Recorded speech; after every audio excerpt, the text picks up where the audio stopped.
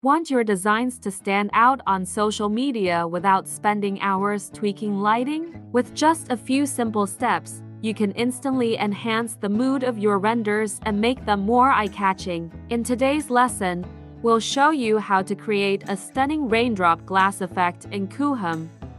Step 1. Creating the material.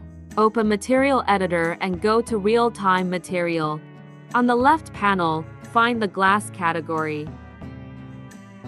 Choose Clear Glass as it has no built-in texture.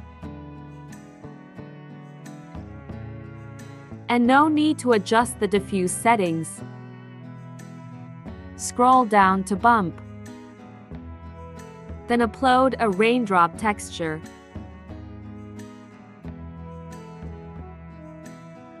After that, adjust the bump scale to control the effect. You can click Render to see the effect of the quickly rendered material. No need to modify later. Save the material, set its name and size. Step 1 complete. Step 2. Applying the material. Back to Material Editor in My Account.